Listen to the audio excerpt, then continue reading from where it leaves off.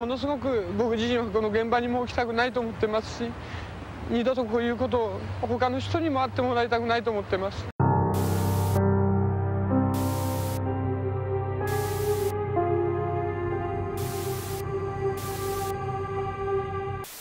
全国の特別さんこんばんは。シアラ放送コタックです。今日も寒いですね。さあ本日なんですがリクエストありがとうございました。週末事件系動画のお時間でございます。今回はタイトルにもあります通り事件を起こした犯人が犯行後に何食わぬ顔でテレビの取材などを受けていたという事件紹介でございます。話題になったものも多いと思いますが紹介していきます。一つ目千葉県通り魔事件。まずインタビューされた犯人って聞いて思い浮かぶのはこの映像じゃないですかね。が30代から40代身長が1メーター80センチぐらいでナイフ持って刺したんですけどなんかそういった心当たりとかないですか？私みたいですって言われて今。ああご本人じゃないんですよね？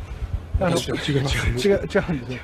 わかりました。どうもすいません。ありがとうございます。こちらの犯人なんですがインタビューの時にも明らかに動揺しておりました。動画はあるんですけど非常に有名ですよね、はい、この事件は2017年の夏に起きた事件でして千葉県千葉市にて犯人の山本雄一が友人と5人で立ち話をしていた少年の頬をナイフで刺したという事件です。でこのインタビューの映像は翌日にリポーターが事件が起きた場所の近隣の人にインタビューをしていた時のものなんですけどこれ偶然にインタビューしたかと思わせて実はこのインタビューバーもこの男が怪しいんじゃないかと思っていたらしいんですね。このインタビューの数時間後ですねこの男は警察に出頭したみたいです。で出頭した時にも自分がやったような気がするけど覚えていないと供述したそうですね。何がしたかったんでしょうかね。ちょっとやっぱ改めて映像を見るとゾッとしますよね。次です2つ目。岩手県強盗殺人事件。こちら昔岩手県で起きた強盗殺人事件なんですけど概要が一人暮らしの59歳の女性が何者かによって首を絞めて殺されて夫の法事のために用意していた現金200万円も盗まれるという凶悪な事件です。そしてその1ヶ月後ですね。なぜかフィリピンのマニラ郊外に住むとある男性が逮捕されました。だからこれも本当はどうしてこういうふうにするのか分かりませんね。あのもし問題あったら本当だったらこれやってもいいんですけどまだ何も問題も何も分からないのこの男というのが日本人離れした顔つきでなまった日本語でフィリピン人を装っているんですが実はれっきとした日本人でしてこの強盗殺人事件の犯人だったんですね。それでフィリピンで逃げて片言で喋ることで犯人像から消そうとしたんですね。これも昔話題になった事件です。次です3つ目。柏市連続通り魔殺傷事件。はいこれも有名ですよね。2014年千葉県にて約10分間の間に4人の男性が何者かによってナイフで刺されそのうちの1人が死亡したという事件ですね。犯人は武井誠司という現場近くにいた男性で実は逮捕前事件の翌日にこの武井は事件の目撃者を装って平然とインタビューに答えていたんですね。そしてすぐ翌日防犯カメラの映像などから逮捕されることになりました。こちら逮捕された時に報道陣に向かってヤフーチャット万歳とねわけのわからないことを言っていたのが有名ですね。まあ中指も立てたりと全く反省していないということで結果無期懲役となっております。で朝になってニュース見たらこうああ近くだって思って。次です4つ目。名古屋実情保険金殺人事件。はいこちらは1986年名古屋で起きた事件なんですが概要としては当時20歳だった今村陽子さんが実の父親今村正夫が雇った殺し屋によって殺害されてしまったというものです。当時この父親はですね転職を繰り返しては先に溺れるっていう生活を続けていてそんな父親のためにこの娘の陽子さんはしっかり付き添って毎月お金も渡していたんですね。そんな事件が起きる3年前のある日父親はこの陽子さんを生命保険に入れます。それからというもの陽子さんに対する当たりというのが非常に強くなって頻繁に暴行を加えるようになってそれが原因で入院をしたこともあったそうなんですね、えーそしてある日この正雄は刑務所から出所したばかりの2人の窃盗犯と出会います。ここでこの2人をスカウトして保険金殺人の計画というのを始めたそうですね。そして事件の発生日2人は仕事帰りの陽子さんをバットで殴り殺害しました。そして事件から2ヶ月後なんとこの父親はテレビのインタビューにも答えてるんですね。事件からですね事件から2ヶ月近く経とうとしてるもんですからね。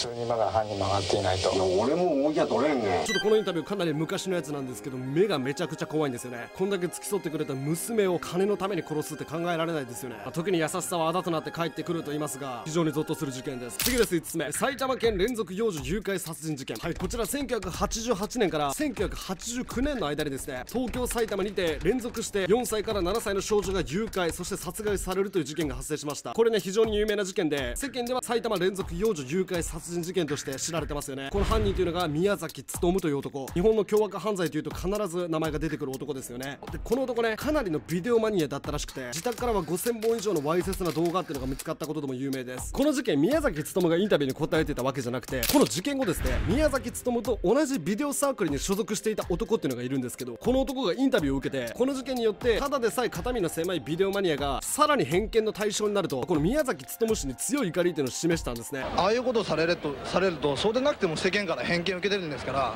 余計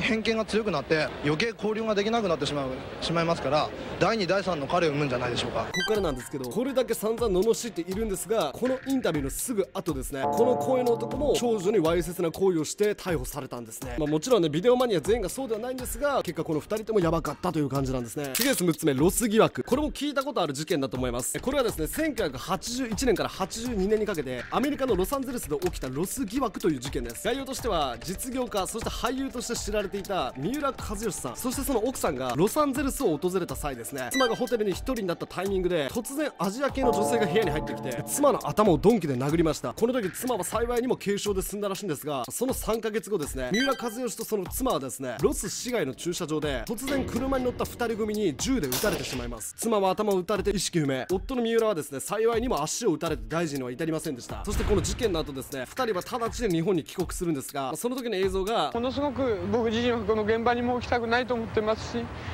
二度とこういうことを他の人にも会ってもらいたくないと思ってます。当時テレビで何度も取り上げられてこの三浦知良っていうのが悲劇の夫としてメディアに大きく取り上げられたんですね。しかし実はこの夫こそが犯人だったんですよ、まあ、この夫が妻に対して多額の保険金をかけていたこと。えそして事件に関する供述などから三浦が保険金目当てに演出した事件などではないかという疑惑が出てきます。そしてこの事件から約3年後ですね三浦の愛人だった日本人である元ポルノ女優がですね最初のホテルで起きた殺傷事件について匿名で自白したということでこの疑惑というのが確信に変わりました。その後この三浦と愛人の2人は逮捕されます。自分の妻を手にかけてなお自分も被害者を装う。非常に悪質な事件ですね。そのために自分の足も拳銃で撃たせるというところすごいなと思いましたけど恐ろしいでございます。次月7つ目。高等マンション神隠し殺人事件。はいこちらも有名ですよね。こちら2008年。東京都江東区のとあるマンションにて起きた事件です、まあ概要を話しますと事件発生当時はマンションに住む女性が行方不明になってで防犯カメラの映像からマンションに入るところは確認できるけど出る姿が確認できないということで、まあ、いろんな報道がね神隠し事件として報道していたんですよ。そして警察とかメディアがマンションの住民に対して取り調べを行っていたんですがこの女性の2つ隣の部屋に住む男に翌日取材が入ったんですね。叫び声とかそういうのはちょっとなかったですね一応なんか8時ぐらいとかどうでしたかみたいな話をちょっと一回聞かれたんですけどいや全然ちょっと覚えないですね。エレベーターだと思うんですけどエレベーターに入るところの女性